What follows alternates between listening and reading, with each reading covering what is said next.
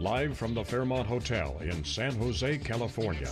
It's theCUBE at Big Data SV 2015.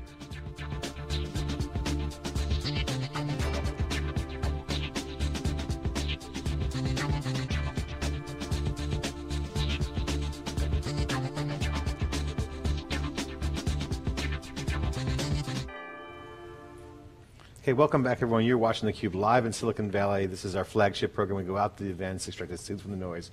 I'm John Furrier with my co-host Jeff Kelly, Big Data Analyst at Wikibon. Our next guest is Donna Prlich, VP of Product and Solutions Marketing at Pentaho. Welcome to theCUBE. Thank you. Thanks for coming on. You guys, big news, obviously the big announcement uh, with HDS, Hitachi Data Systems, and kind of that partnership merging, kind of, or acquisition and whatnot. Um, Hitachi is known for storage, and they got big yep. storage for the big data. Um, we're the big data week. So what's what's going on? I mean, your world changed significantly, business as usual. Yeah. How has that announcement shaped what you guys are doing now, if any? Yeah. What's, what's going on? Been a lot of excitement. Um, so you know, for us, it's it's great because we really have built up this big data brand over the last few years, and um, Hitachi's direction is social innovation, Internet of Things we're really good at you know dealing with big data, machine generated data. So we're excited for that. It's going to help us scale. And um, we also get to keep our brand, which is nice. And we're a wholly owned subsidiary, so it's pretty much business as usual. And can't really say much more, obviously, because it hasn't closed. Hasn't closed kind of yet. around yeah, the corner. but usually takes some closing time. Exactly. But hasn't changed what you guys are doing. Obviously, independent. No, in fact, um, if anything, it's going to be more business as usual, just because uh, we're dealing with so many big data customers and early ones that think we're going to add a lot of mm-hmm. expertise in that area uh, and help help the Hitachi folks. What are you guys direction. expecting this week? Obviously, on, on, the solution side, you're seeing much more expansion discussion around solutions. All right, um, big data, analytics. IBM's talking about cognitive in their vision. Other people talking about in memory with Spark. A lot of variety, but it, it all comes back down to customer solutions. And you're seeing the open data platform as an accelerant by their narrative. What does all this mean for the marketplace, for the customer? What is the key solutions that are that are coming forth from all this uh, growth? Yeah, well, you know, the interesting thing is it's a, definitely a sign of how much disruption has gone on and, and really how confusing it's been for the last couple of years. We had a, a lot of early customers who were looking at big data and trying to determine how to get value from it. Some early innovators like EDO Interactive, for, for instance, does um, they do loyalty programs for the for the credit card companies, and so we were really looking at how do they how do they end up um, you know, what are some of the patterns that emerge for these types of companies? And, and one of the things we realized early relative to what's been happening with the disruption now and the different technologies is they really want to figure out, first of all, how to get value from the big data and then how to sort of protect themselves from this environment, right? And, and make good decisions and be able to be flexible because this is a very changing world and there's a new technology every day. So, um, you know, our approach has definitely been one of let's figure out what our customers are doing, keep those reference architectures in mind and help them help them really with what we've learned. Mm -hmm. So talk about Pentaho's approach. So it's kind of blending the data integration part of the equation with the business intelligence and the visualization. Talk about at a high level why that's important. Why why, you, why Pentaho sees that as not separate kind of workloads, but two things that need to be integrated. Yeah, well, it's pretty interesting because we've always sort of had that approach mm -hmm. of you know BI and DI better together.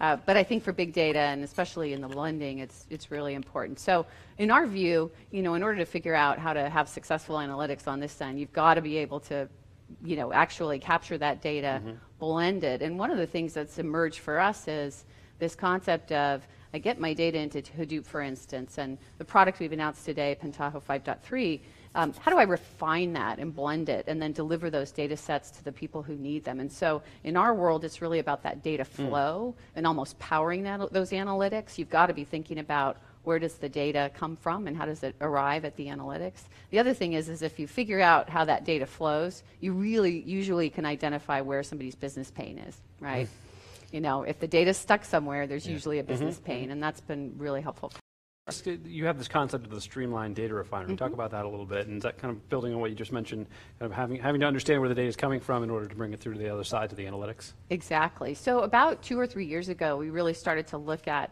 what are the patterns that are emerging with our own customers, and one that we saw over and over and over again was this concept of customers who had data in Hadoop, but then really needed a way to streamline it and provide slices of data to individual, you know, consumers. And the streamlined Data Refinery that we announced back in um, October 5.2. This is really building on that. And what it allows the customer to do is to follow that process of data ingestion into Hadoop. And then once you've got that data there, really bring that into a, a high performance analytic database. So you think about a refinery, right? Just like a, any kind of refinery, oil refinery. And then once it's staged there, to be able to deliver it to um, to end users. And we've put there's some some really nice capabilities in our front end tools around auto modeling and auto publishing, so that that process of bringing the data and the analytics together and the IT and the business, we- we automate a lot of that. So it really simplifies that So process. data factories is a great term that we remember uh, we met in the 1st uh, Hadoop uh, world we, we did four, five, five years ago now.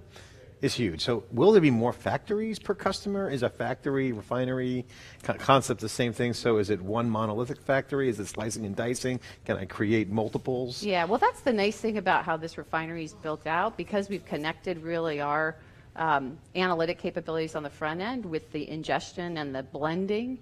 It becomes a single delivery to whoever needs it. So we don't have to have a giant monolithic uh, factory in the middle. It's almost like refining to smaller factories, if you will, to different constituents. Uh, so talk a little bit about the market. I mean, we saw yesterday the big announcement was around the open data platform. We saw Hortonworks and Pivotal are kind of kind of getting a little tight there, and of course you've got Cloudera and you've got Amazon. I mean, there's a, it's the interesting market is playing out right now, um, and a company like Pentaho, where you kind of play kind of above that layer, right? So you're you're helping doing some of that ingestion, some of that refining, and then the analytics. How do you look at this market? How does that? How do you approach things like partnerships, things like um, you know tightly integrating with the Hadoop vendors, whether it's Cloudera, Hortonworks. I know you recently also have a, a partner, partnership relationship with AWS for Redshift. How do you kind of look at that layer kind of just beneath what, what Pentaho does, and how are you navigating that with all these kind of uh, quickly developing alliances? Yeah, well, that's a really good question. And if you think about um, a lot of the announcements, we're really looking at open, right? So we've come out of open source. That's we lived for a long time, and it served us well at the beginning with big data because we were able to. We have something called the adaptive big data layer that's been able to allow us to support natively many different Hadoop distributions, NoSQL data stores like MongoDB, very easily.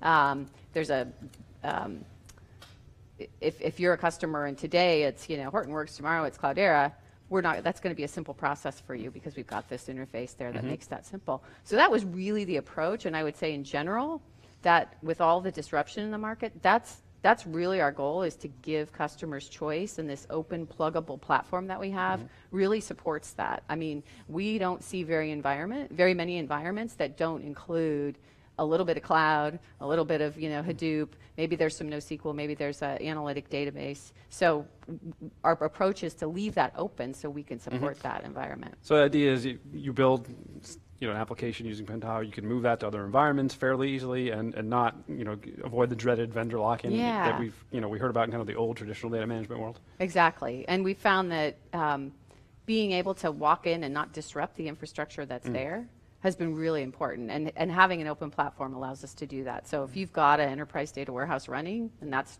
running your business, we certainly are never going to mm-hmm. say, you know, take all that data and put it somewhere else. Yeah. That's working So really they have a well for you. Stack, they're okay. They can deal Yeah. with that. You, but open source coming in with open source, that's a big deal. And if you're blend, and then let's say then you want to blend data, right? Well, you need to be able to deal with legacy systems that have very valuable data in them. And if you've got data coming into Hadoop that maybe is unstructured, maybe it's machine generated data, that's really the beauty of it is to be able to blend those together.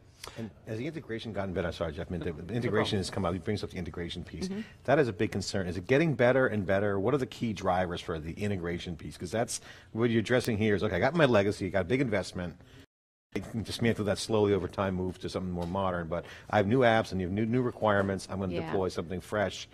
What's the integration challenge? Have you, can you comment on that and, and, and kind of unpack that a Yeah, little bit? I, I, I think number one, the tools have gotten better. Our tools are definitely um, in a place where, for big data, we've simplified a lot of that. I mean, it's a, it's much more graphical, um, you know, GUI based. You're not if, if somebody doesn't have the resources to learn MapReduce, not a problem. They can use Pentaho. We really simplify that. Take a lot of time out for many of our customers. Um, so that part of it's gotten a lot easier. And then if you think about um, what we've done with the Streamlined Data Refinery, we've basically put um, an interface in front of the user where they're able to request and, and, and kind of choose specific pieces of an analytic data, uh, data set that they're interested in, but they're shielded from that really complex transformation behind it. So I think the two things that have gone better, one is on the developer side, the tools are better.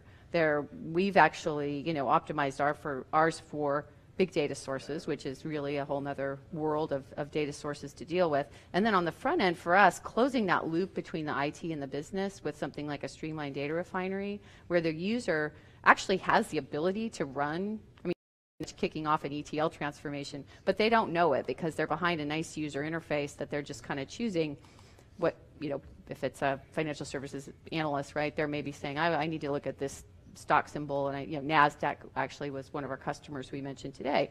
If I'm looking at a certain stock symbol and I need to look at a certain date period of time, I'm changing that up, kicking that off through an interface.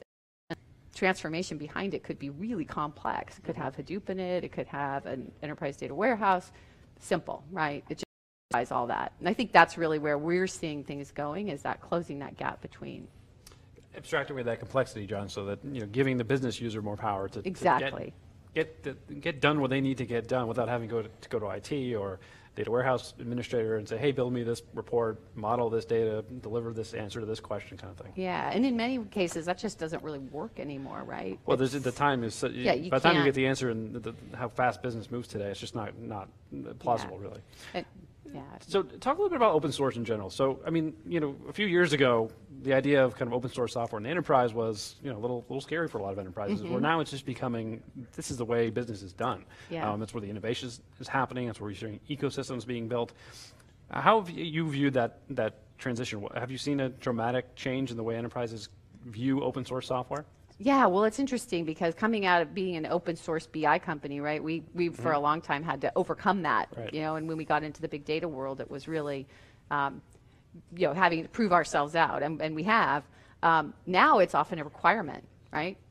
We, we, we have a mm-hmm. requirement for open source that we get called in, which is great. I mean, I think the biggest thing for us in terms of open in this kind of a market is just the ability to innovate. And so when things, you know, you mentioned Spark, right, and year and a half ago it was Storm, and we've done a lot of things with Yarn. When those types of technologies emerge, it really allows us to have our community out there banging on things, trying things out, creating plugins. We see what's viable, but we have to have a, you know, uh, closed proprietary engineering organization that's massive in order to test out those technologies. So I wanted to ask you about the um, comment we heard earlier in the cube about Hadoop's now a boardroom conversation. So, um, which they're saying, you know, I'm like, come on, yeah. show me yeah. one boardroom Hadoop. And they said, yeah, in, in private equity-based companies, the modern stuff that's all born in the cloud, certainly Hadoop's a known word. Mm-hmm. But big data certainly is a boardroom conversation. Yes. What have you seen out there in terms of those kinds of conversations, and what are they like? I mean, are they specific to the geekiness of it? Is it more higher level, macro, or what, what have you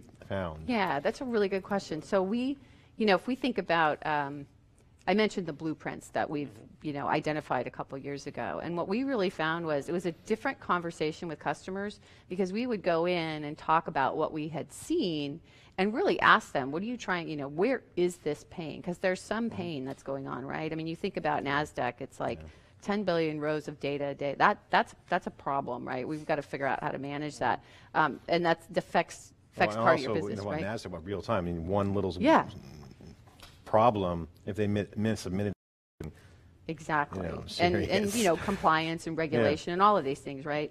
Um, and so that's really the conversation because we, you know, we do end up having pretty technical conversations. Oftentimes, we'll be with a CTO when we've put out these blueprints that really say, well, so we, this is what we're seeing at enterprise data yeah. warehouse. You might have a Hadoop, you might have NoSQL.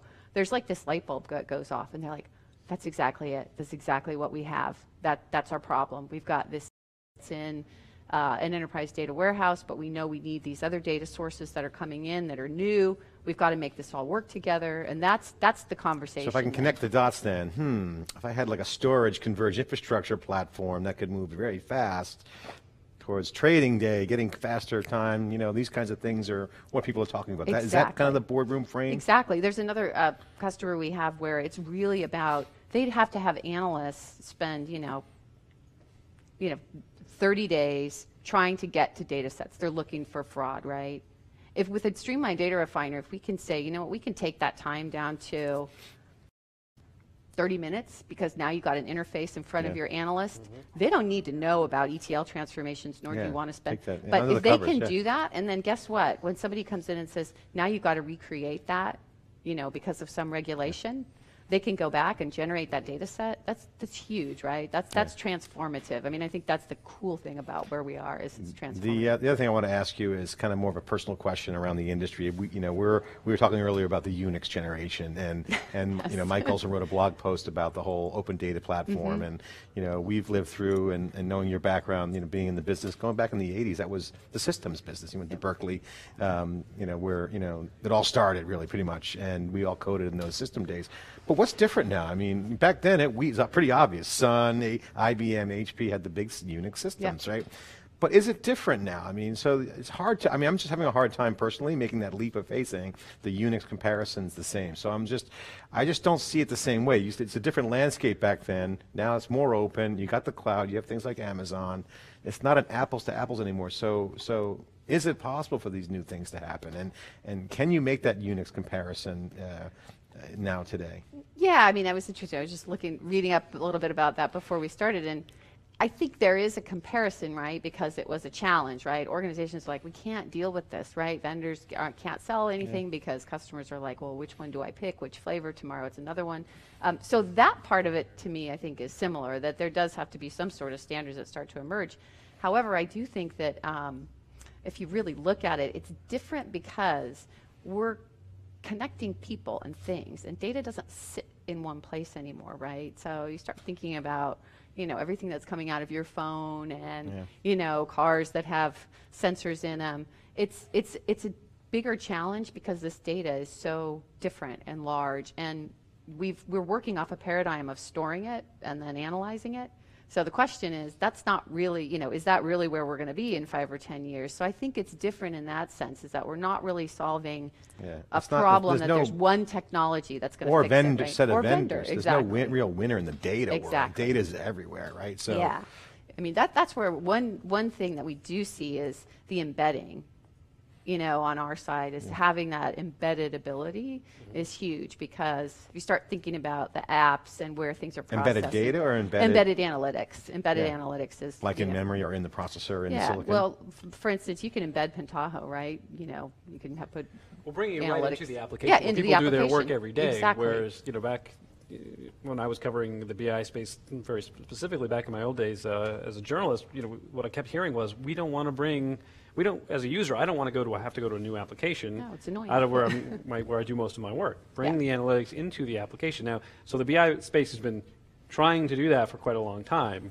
Um, where Pentaho has an advantage there is with the open, open nature of your platform to integrate that into applications. Yeah, and almost every, I mean, the, the streamlined data refinery, you know, we talked about NASDAQ, those are all embedding on the front end. Mm-hmm. So how they're pushing those analytics out is Pentaho, but generally they're embedded in, in some other application because that's just as, you know, to your point, we don't want to have to go to another tool, right? And a lot of times it's not, um, you know, uh, we were talking yesterday about um, Halliburton, who's one of our customers, and they have Pentaho embedded in like 12 different applications. One of them goes out to, you know, guys sitting on an oil rig. Well, they're not going to bring up a BI tool, right? They need to have their dashboard and see their data Mm-hmm. every day. So, but I think that's becoming more and more important because of that, you know, sort of point of impact. Where do I have to make that decision, that business decision? Yeah. Right? Yeah. It's different. And it's about moving it beyond just, you know, here's, um, you know, the analytics embedded in the application, but the, the recommendation embedded in the application. Or, you know, what should I do next? I don't, I don't even want to take the time as a frontline worker.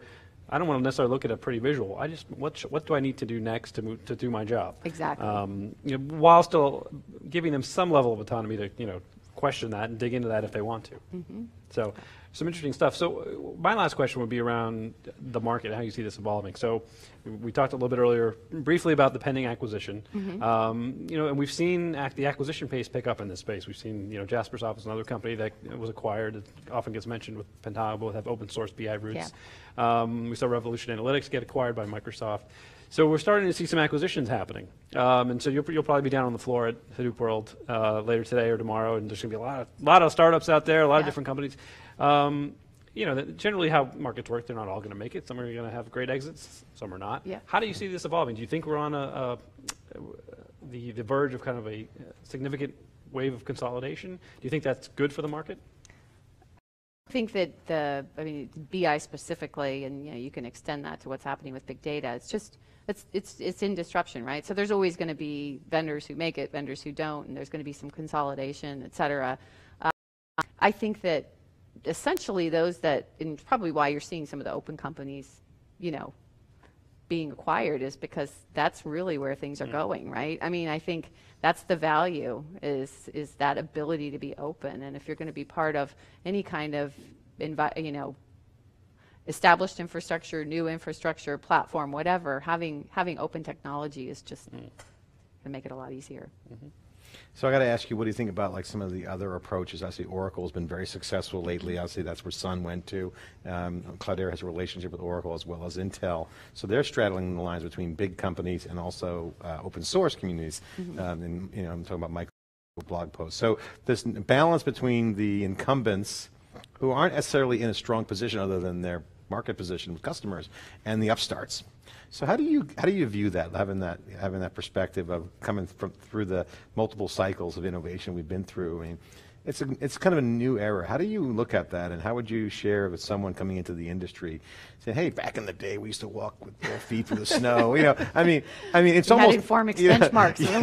yeah, we had Ingres database. I was like, you know, you know, command line. So again, Yeah. this is a new generation coming in. It's some some amazing things happening. Open source has certainly changed it, but is there going to be that kind of? I mean, our, our Oracle's red stack, but like they're doing well. I mean, the earnings are awesome. I mean. I just saw John Fowler. He's like kicking butt over there at, at uh, inside Oracle with their engineered system. So, interesting approach. Do customers care if Yeah. the performance is there? So, Yeah, I, th- I, I mean, I think customers have to care, right? They're running a lot of their business on those technologies. Let's be honest. I mean, when I was talking about, you know, the sort of the established vendors, and when we looked at what was happening with these blueprints, go back to that, it, it, you can't, you can't assume that any of that's going to go away, right? It's what's Yeah. running the world's business today, or those established infrastructure, infrastructures of data warehouses, and, and Yeah. now we're in this era of something needs to change because the data has changed, the volumes have changed, the speed of business has changed, and there'll be new technologies that emerge. But I think that our approach really is Pentaho is that, and again, you know, that's the beauty of being open is those will just be complementary for a long time, right? Until because those those systems that companies have invested, you know, millions of dollars in, have to keep running their business for some period of time. and still be available for this new category of software models where open source needs to fit in exactly. in some sort of Lego block or you know. Yeah, I mean, I think the plug and play idea, you know, extensibility is what's really going to be important as we move forward in this space for sure. Donna, well, thanks for coming on theCUBE. Really appreciate it. What do you expect for the week this week? Just to share with us quickly. You know, what do you expect to unfold this week at, at at the Hadoop World? Um, what do you expect to see? Any fireworks, mellow? You know. Yeah, I think know? it's going to be exciting. I think there's going to be a lot of conversations like the ones we just had. I think we're going to talk a lot about open source this week, probably more than we have in many years. Um, and we're excited. You know, we have a new product coming out. We just had an acquisition, so Great. lots of good, exciting conversations. You got a spring in your step. You guys are looking good. Congratulations Yeah, on all the thank you. success.